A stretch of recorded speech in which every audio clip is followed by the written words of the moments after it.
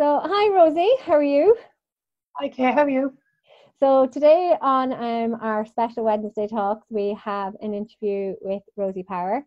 Rosie Power is another Navan person. I promise they won't all just be from Navan. Um, but Rosie is a Nothing teacher. wrong with Navan, Kay? Nothing wrong with Navan. But we will be having other people from all around the country. Um, Rosie is a teacher in Youthreach progression in Navan, and she must be a great teacher because she taught my son for her sins. So um, yeah, she must be, and she got his certificate. so she, she's good at her job. So um, Well, well, there was a few of us on board there. You did a good bit of work inside. um, I'll give it over to Rosie, and Rosie will just tell you a little bit about herself, and then we have some questions from some young people and from some parents. Yeah, well, sure. I suppose, like, I suppose the way to start would be my own educational background. Mhm. And uh, as you already said, Kay, I come from Navan. I've been born and raised in Navan, and I went to Mercy Primary School. Now, my own experience of school wasn't a very positive one. I wasn't allowed to join the Irish class. So, hmm. obviously, when you're 9, 10, 11, you think that's great, you're skipping classes. But it's only when you come out the other end you realize, oh, really, you know, why wasn't I in the Navan Travellers Training Centre at 15? And uh, because I, I, I left school at 12. I suppose the reason why we're sent to school, I, I was one of the first generation in my family. You know, we were the first generation in our family to be sent to school. We were born in the 70s. And the reason for that was literally the family business would be contained within the family. So neither of my parents could read or write. So I was taken out of school at 12 to help with the younger kids and stuff. And at 15, uh, I was sent to Navan Travellers Training Centre where I took up a City and Guilds course. And uh, that was my first chance of kind of like a formal certificate, as you say. Uh, and I gained that. I was there till I was 17. And then at the time, they offered me the role of uh, administrator, which was a position I held for about 10 years. But during that time, uh, from working in the role, uh, I got a yes for kind of to go back to school and, you know, to study. So I went to GCU, were running a, a program, Certificate in Education and Training, and I was one of the first participants on that. Me and a few other teachers from the centre at the time. Now, there weren't none travellers. So there was about four of us, I think, that, that done that. And I was 23 years of age and I was married with kids at the time. So it, it was quite hard, like ju- ju- uh, juggling a full time job, go back to education, and having young kids. Uh, yeah, it's, it's like it's only when you've done it, like just days, you look back and you're like, how did you do it? But look, managed. And uh, that led on to a degree program. So I done the certificate and then I done the diploma, sorry. So I stayed next year and done the diploma, and then they had the degree program wrote at the time. So in between that, I done a, diploma in IT skills. Is where the area that I teach now is uh, IT skills. So I teach kind of QQI from level two to level five at the minute. Uh, so from that, then uh, I think I had my fourth child. He was about two when I went back to do the degree.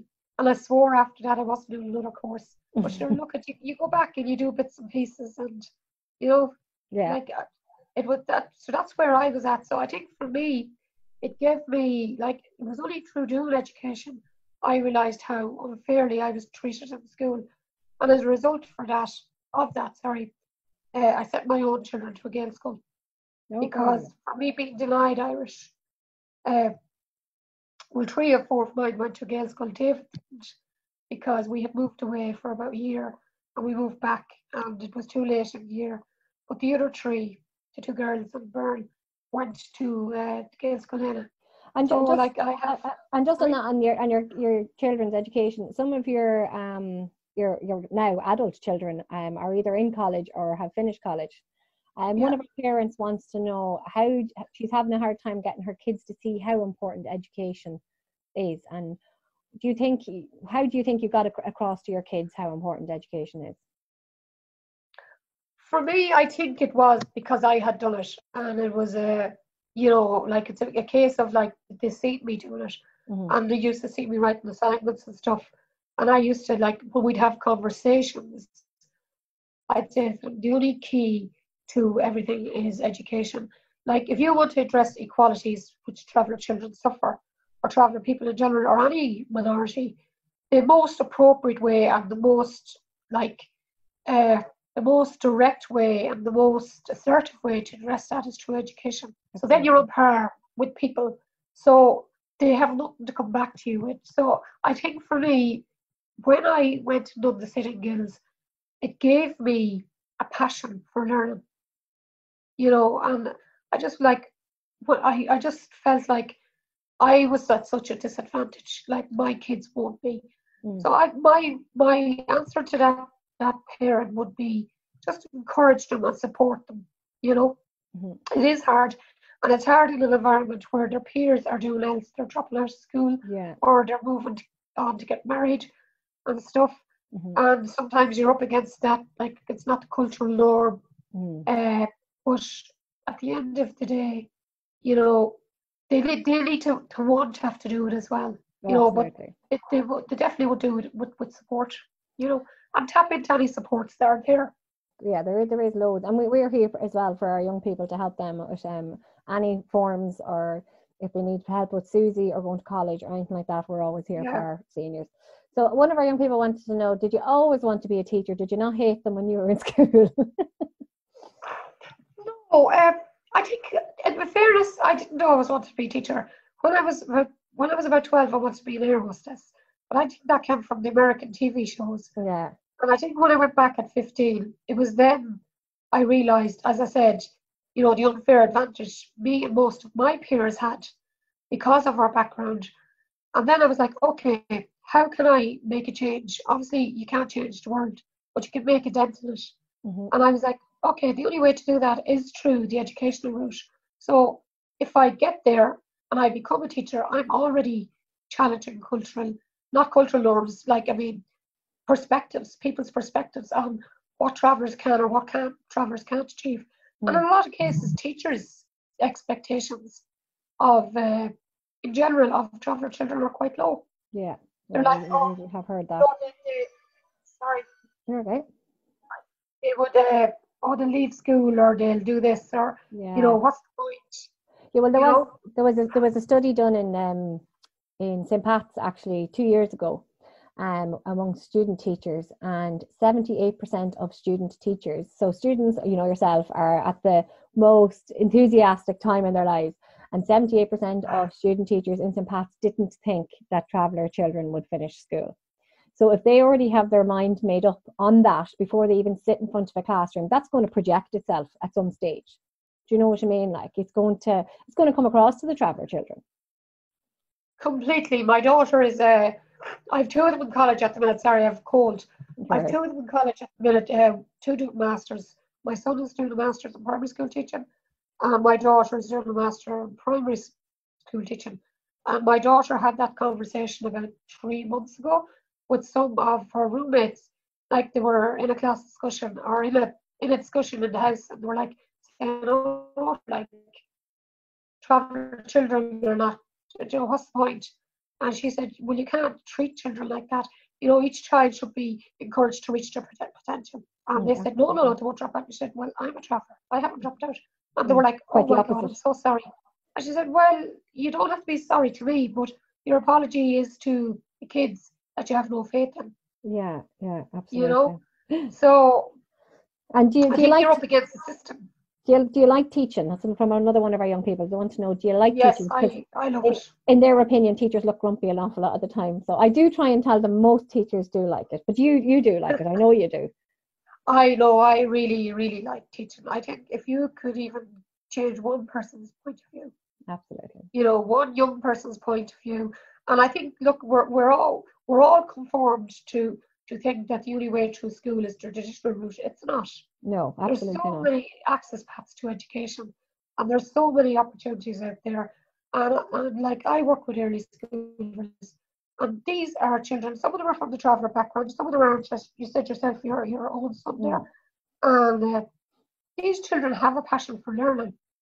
And for one reason or another, they, they didn't fit into the mainstream system. Maybe they had a personality clash with a teacher maybe you know it wasn't interesting enough. Maybe you know the curriculum didn't suit them, or there was family stuff going on.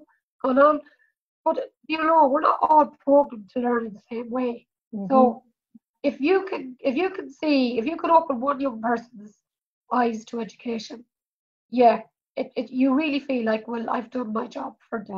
Absolutely. And speaking of it not always being the same for everyone, we have a parent here who's 28 years of age and they're thinking now of going to college to do childcare. Um, they have children, so I was, you know, I was telling them you had a child, and they're just saying, have you any advice? Have you any advice for her how to maybe broach the subject at home, and then how how to do it? You know what I mean? With small children, it, it is hard to go. Even with big kids, it's hard to go to college. Well, look, it, is it is going to be hard, but the only thing that you can do, as I said, when I went to do my degree, my youngest was only two, and I had four of them at that stage. There's Mm. only they, there was only 13 years between the eldest and the youngest, so the, the eldest was only 15. Uh, I don't know. I have to be honest. Like my mother, rest her, and my father were great, but you just have to organise yourself and plan. But if it's something you really want, you will make it happen. Absolutely. You know. Uh, and I would say, like, she's 28, the world's the oyster No, her kids, she'd get up some morning and her kids will be, they'll be doing their own thing, they'll be gone. Oh, oh, to be 28 again, Rosie, huh? I don't know, like, eh? maybe, maybe I'd settle for 38. yeah. And a, a belated happy birthday was a little special birthday not so long ago, last weekend, I think, wasn't it? So happy birthday to you. Yeah.